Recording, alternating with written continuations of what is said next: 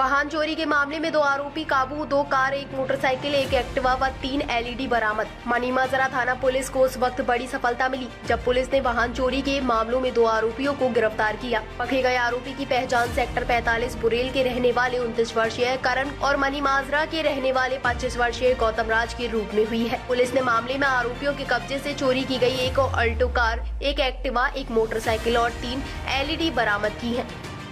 ताज़ा अपडेट्स व बड़ी खबरों के लिए सब्सक्राइब करें आज प्रकाश टीवी और बेल आइकन दबाना न भूलें।